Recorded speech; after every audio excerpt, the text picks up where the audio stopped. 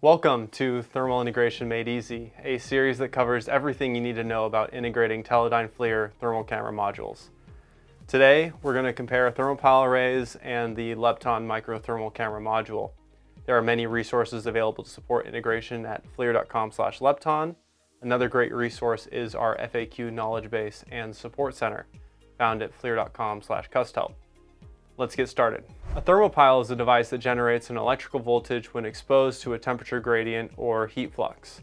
A thermopile array is a collection of thermopiles arranged in a grid or array format. Thermopile arrays are typically utilized in various basic thermal imaging applications such as hotspot detection, person detection, precise non-contact temperature sensing, and basic gas detection.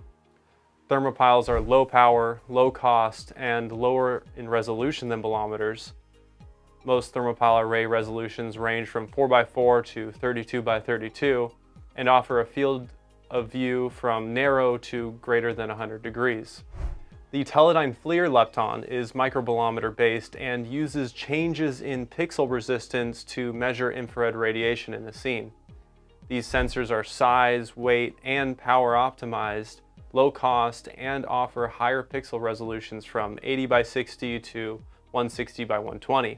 With more resolution, the Lepton microbolometer can be utilized in sophisticated applications including smart home automation, occupancy detection, smartphones, drones, early fire detection, and condition monitoring. Before we get into the pros and cons of each type of technology, it is important to understand application use case differences. Typically, thermopiles and thermopile arrays are found in applications where detection and or limited information is the primary need. Simplistic short-range occupancy counting, light triggering, or simplistic spot temperature measurement of a close object are typical use cases. Imaging sensors, such as microbolometers, are typically used when more information, visual representation of multiple objects, and longer distances of objects and temperature measurement are needed. Thermography of electrical switchgear, security, maritime, and automotive, and even the traditional and new uses for imaging sensors like Lepton. Historically, applications have used lower cost sensors like thermopile arrays to accomplish the end goal. These sensors were used primarily due to the higher cost of microbolometers, lack of mechanical shutters, higher field of view options, and lower power. However, advancement of microbolometer technology, exponential production volume increases through yield improvements and new markets have resulted in microbolometer costs to significantly decrease.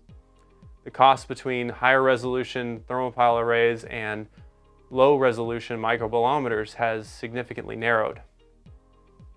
Today, current use case trends are focusing on the reduction of false alarms, integration of AI, and overall smarter systems, more information or more pixels, better fidelity of objects, smaller pixels, and ability to measure absolute temperature of multiple objects in the same scene is resulting in the blurring definition of what is a sensor and an imager.